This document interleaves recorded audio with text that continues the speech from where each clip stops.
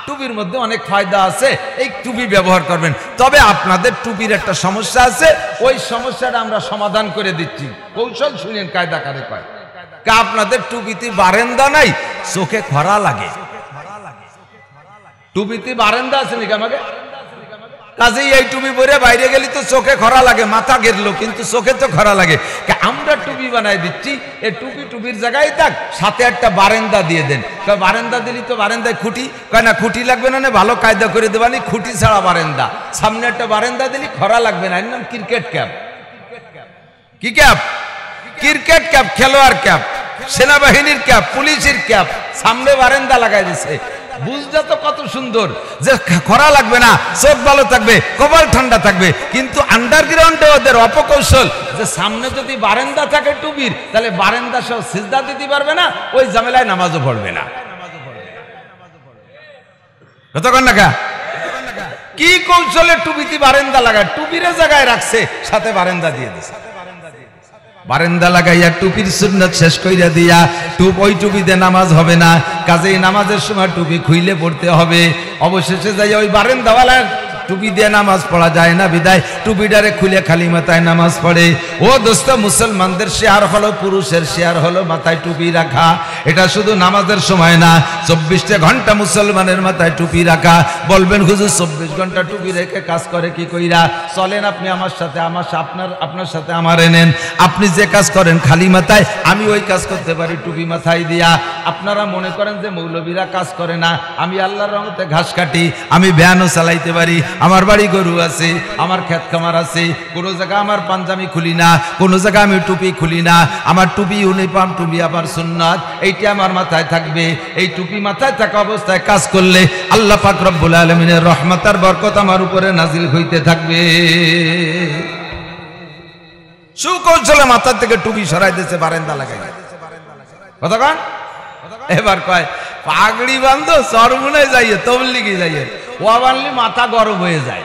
গল্প মাঝে মাঝে কই, হাকিবুল উম্মাত আশরাফ আলী থানবী রহমতুল্লাহ আলাইহে। জামানায় এক নাস্তিক ছিল, সে নাস্তিক আল্লাহরে মানে না। কোনো অবস্থাতে আল্লাহ নাই, তার যুক্তিতে ধরাই পড়ে না। এ সব প্রকৃতি এমনি এমনি হয়। এ যুবক, শিক্ষিত জেনারেল যারা, তোমরা কও, এ কি আল্লাহর সৃষ্টি নাকি এমনি এমনি হয়?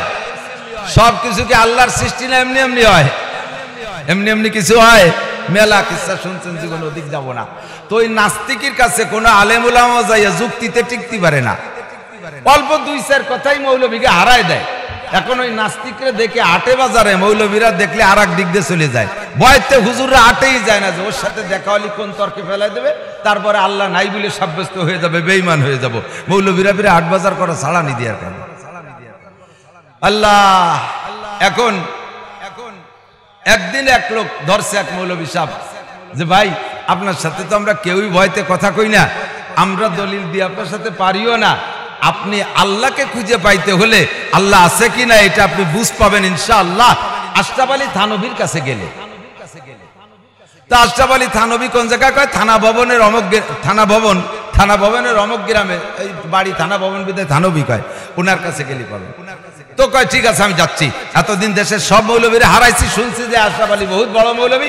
ওইটারে যদি হারাই দিতে পারি, তাহলে আল্লাহর ইন্ডিয়াতে খেদাই দিতে পারব। চলে গেছে, যাইয়ে দেখে আশরাফ আলী থানবী রহমতুল্লাহ আলীকে এত বড় পাগড়ি একটা বাঁধে বসা। ও যাইয়েই থানবীর মাথার পাগড়ি দেয় ওর মিজাজ গরম হয়ে গেছে। হ্যাঁ মৌলবি? যাই, সালাম কালাম তোর দান দেয় না। হ্যাঁ আচ্ছা বাদ কয়া হোক আমি কিছু কথা বলতে আসছি, বলব? আচ্ছা ঠিক আছে কাহো থানবী বলতেছে, ঠিক আছে, বলো। कहते सबसे पहला बात यह है कि आपके सर पर इतनी बड़ा कपड़ा क्यों পেঁচায়া এ মাথায় এত বড় কাবুল বাঁধছো কে? এত বড় খেতা বাঁধছো কে? এতে মাথা গরম হয়ে যায় এ খোলো মৌলবীরা এগুলো করে এই মাথায় পাগড়ি বুগড়ি বাঁধে মাথা গরম করে রাখে প্রকৃতির কি সুন্দর বাতাস আর প্রকৃতির দেওয়া চুল এই চুলের গায়ে প্রকৃতির বাতাস লাগলে মাথাটা ঠান্ডা থাকে কত সুন্দর লাগে আর তোমরা মাথায় এত বড় খেতা বাঁধে বচরিত খোলো তো থানবী রহমতুল্লাহ আলাই বলতেছে পাগল পাগল আমাদের এই পাগড়ি বান্ধার মাথা গরম হয় না, মাথা ঠান্ডা হয়। কনসুবাহান আল্লাহ আমার এই পাগড়ি বানলি যদি মাথা গরম হইতো, তাহলে তুই যেভাবে বলছিস, তাহলে এতক্ষণ তোর দাঁত ফেলাই দিতাম ঘুষইয়ে মাথা আমার গরম হয় না তোকে প্রকৃতির দিয়া মাথাটা গরম হয় বেশি। আমি এই জায়গা বলছে, পুরো ভারতবর্ষের ফতোয়া লেখি। প্রত্যেক দিন চিঠির মাধ্যমে একশো ফতোয়ার জবাব দেই। সামনে বলছে দুই একশো মানুষের ফতোয়ার জবাব দেই প্রত্যেক দিন আমি ডেলি শতকরা সাতানব্বইটা ফতোয়ার জবাব দেই হলো বউ তালাকের ফতোয়া। কি তালাক? ফতোয়া দেয় শতকরা সাতানব্বইটা আর তিনটে দেয় নামাজ কালাম ইত্যাদি ইত্যাদি।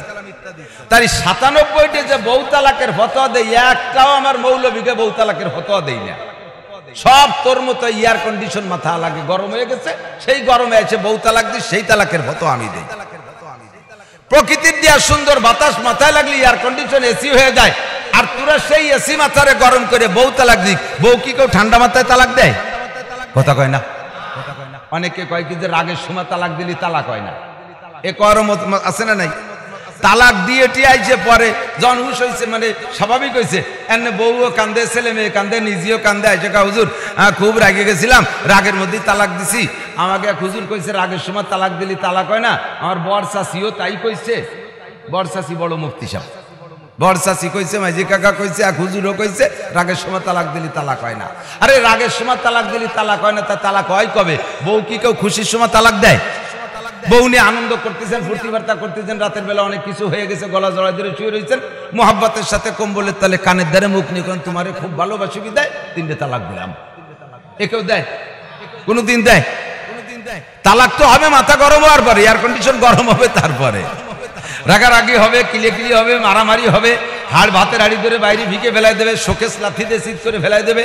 বিড়ালের ঠ্যাং ধরে টানি ছিঁড়ে ফেলাই দিচ্ছে ছাগল রেকব দিয়ে দুই ভাগ করে। এরপরে বউরে গালাগালি করা শুরু হবে, এরপরে মায়ের শুরু হবে, লাস্টের দিক দিয়ে গোটা তিনি পাঁচেক, দশটা, বিশটা, যা আছে হাতে দিয়ে দেবে। তাতে বলে তালাক হবে না। তো তানবী কয় যে, তোর মতো এয়ার কন্ডিশন গরম হয়ে গেছে, সে গরম এয়ার কন্ডিশন এলারা বউ তালাক দিস, আমি এই জায়গা বসে, আমি সেই ফতোয়া দেই। আর এই ফতোয়া দেই, আমি এই পাগড়ি বেঁধে ঠান্ডা মাথায়। তুই কি কবি তাই কয় যে, সবচেয়ে আগে বলব তোমার এই পাগড়ি বললে লাভ কি তাই কও?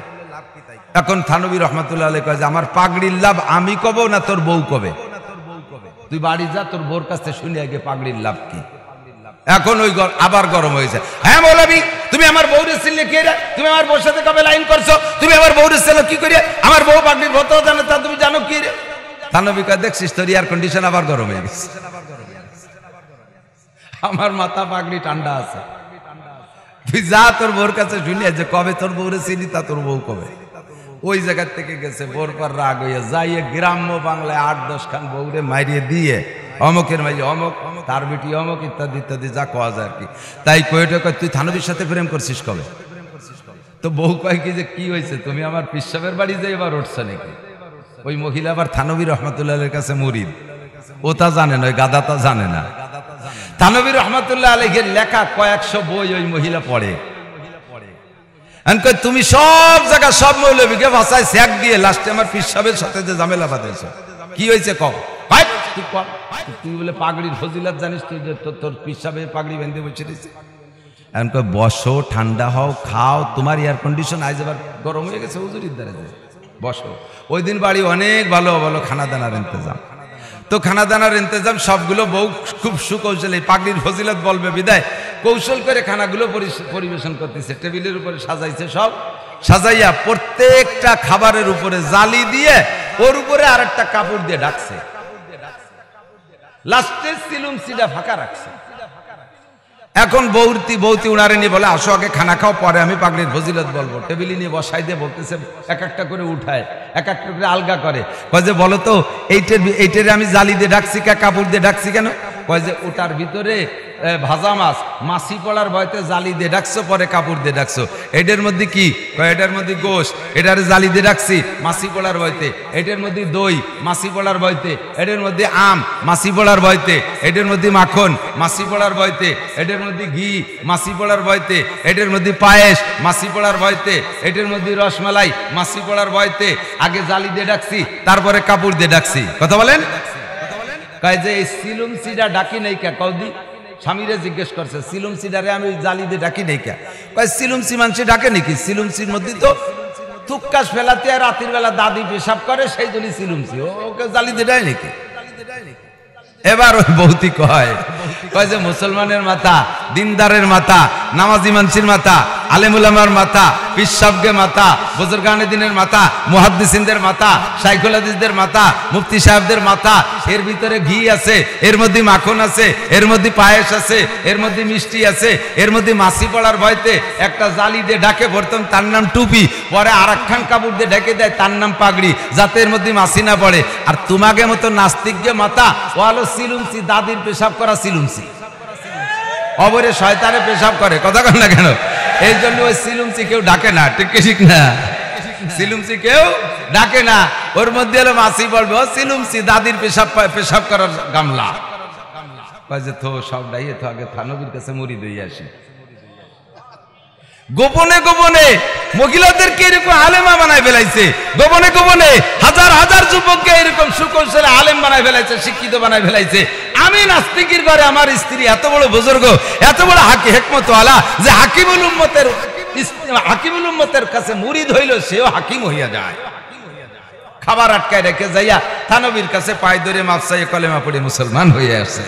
কামেলে গর কাকে গিরাদ জরশবাদ কামেলে গর খাকে গিরাদ জরশবাদ নাকে সরজর বুর্দে খাকে স্তর শবাদ উজে করে বারে গওহার আওয়ারাদ আজিয়া হাসোয়ে বরসর আওয়ারাদ গর্ত সঙ্গে খারাও মরমর বুদি চুবা সাহেব দিল রসি গওহার ছবি ও বন্ধু তুমি যদি শক্ত মরমর পাথর হও সরমুনের ময়দানে যাও সরমুনের ময়দানে যাও ওই মাটির মধ্যে আল্লাহ পাক ভিন্ন একটা বরকত রেখেছে ও জায়গা গেলে পাগল সব লাভ শুরু হইয়া যায় শক্ত পাথর যদি যায়, মোমের মতো গুলি পানি হয়ে যায়।